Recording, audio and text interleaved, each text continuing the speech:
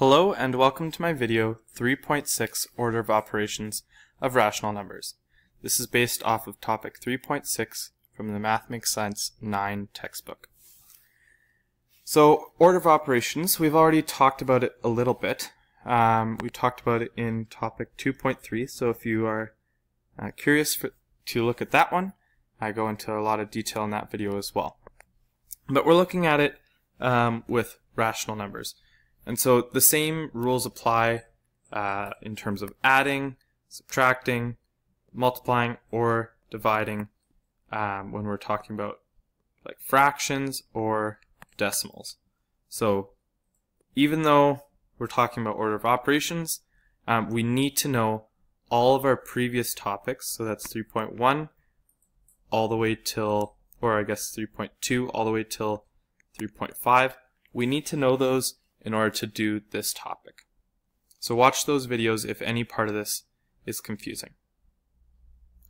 So when we're talking about order of operations, um, what we often remember is the word or uh, caustic BEDMAS. So we have, hopefully you can see that right here, BEDMAS, and it shows brackets, exponents, division, multiplication, addition, and subtraction. And this is the order that you have to work in. So if we're looking at this question here, our first step is to look at brackets. What are the brackets telling us? Well, these brackets tell you nothing. Okay? It's just around the number. These brackets tell you basically nothing. They're around the number. These ones, these ones tell you nothing. But what you notice is that we have square brackets. And square brackets are just there uh, sometimes to show, to distinguish between two sets of brackets. So you can have brackets inside of brackets. So that's what the square brackets uh, sometimes do. But you could just use regular brackets instead. But in this case, you might notice that these square brackets force you to do something first. So you have to do everything inside the brackets first. So in this case, you're actually going to do the addition first because it's inside, and then we're going to do the rest. So let's try that. Let's try to do the addition first. So from topic 3.2, um, the addition of these fractions, we have to get common denominators first. So 3 times 4, 5 times 4, plus 5 times 4, and 1 times 5. Okay, so that's one step.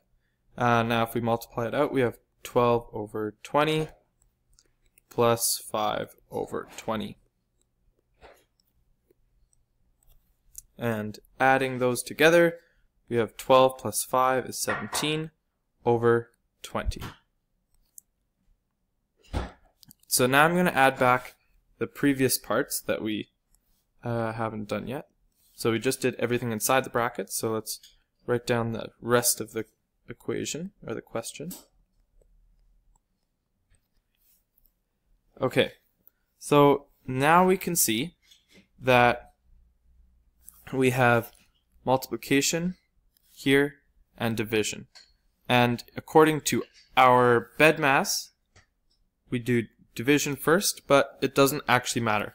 These two can switch order, doesn't make a difference, and these two can switch order, and it doesn't make a difference. So we can do either one of these first, um, but I'm going to show you a little trick with division that I didn't show you in the last video. So take a look at this. If we divide by 2 thirds, it's the same thing as if we multiplied by 3 over 2. So if we flip the fraction, if we divide by a number, we can flip the fraction and multiply it by it. So this is just a cool trick here. So I'll write all this out again.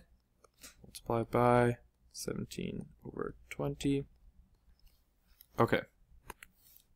So now that we do did that, um, we might be able to do this a little bit easier. So if you remember from uh, from topic 3.4, multiplying fractions, um, we can actually just multiply all the denominators and all the numerators. So all the bottom numbers and all the top numbers. So 2 times 20 times 2, negative 1 times 3 times 17.